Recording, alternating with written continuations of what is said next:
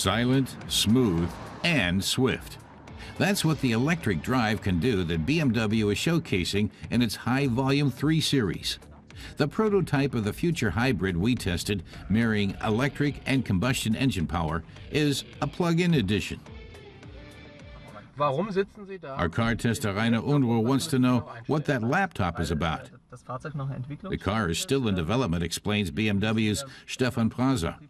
So he might have to intervene under certain circumstances, maybe even for Rainer's safety. The control systems might revert to fallback settings, but the technology is at an advanced stage, so he's not expecting any complications. Okay. The plug-in hybrid system achieves performance approaching 180 kilowatts. Beamer rates fuel consumption at 2 liters per 100 kilometers, equivalent to CO2 emissions of 50 grams per kilometer. The battery makes a vital contribution. As they accelerate, the reading is 250 amperes of battery discharge current. Okay. Genau, und wenn Sie And now, when Rainer hits the brakes, uh, that recuperates 120 amperes for the battery. 120 Ampere, mit 120 Ampere die Batterie wieder beim Bremsen geladen. Eco-friendly mobility is gaining importance. BMW's i3, already on the market, has a pure electric power setup. That's great for getting around megacities, but its road range is very limited.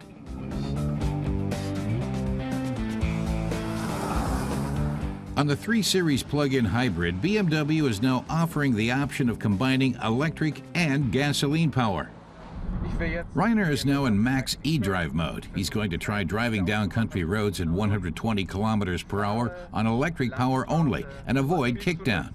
How long can he do that? And is it always possible? What they can do is a typical urban drive cycle for 35 kilometers. Stepping up to 120 kilometers per hour on electric power will increase consumption a little. As Reiner correctly assumes, you have to work out how many kilometers that knocks off the range.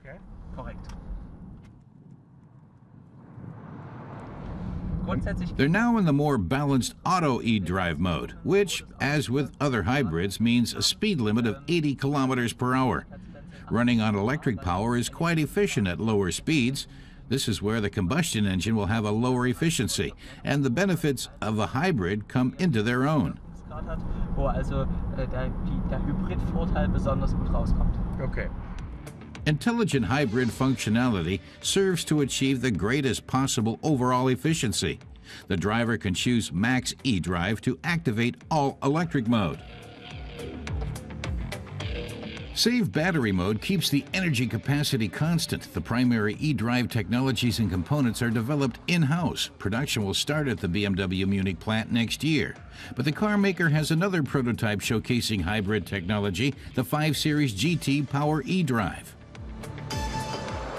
BMW engineer Philip Morrison takes us on a lap of the Circuit de Provence with the Power eDrive demonstrator.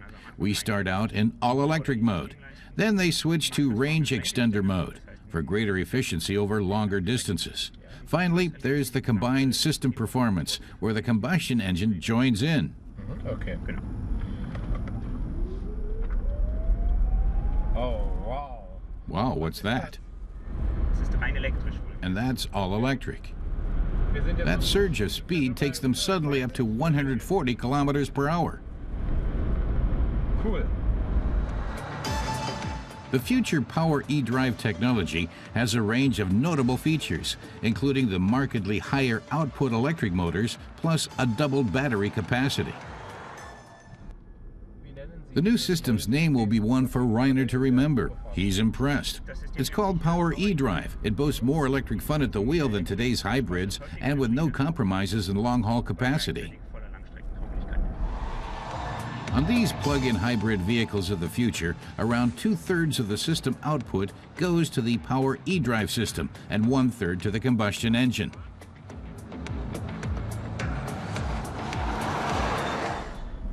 There's an electric motor on the rear axle putting out some 200 kilowatts, so that's a very powerful unit.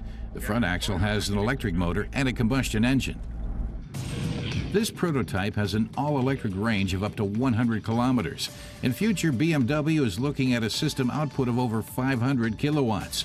Plus, the battery capacity of up to 20 kilowatt hours is far in excess of contemporary hybrid systems. Now they're running on electric combined with an internal combustion engine, so even more output is available, and that means being able to accelerate to 150 kilometers per hour in no time. Wow.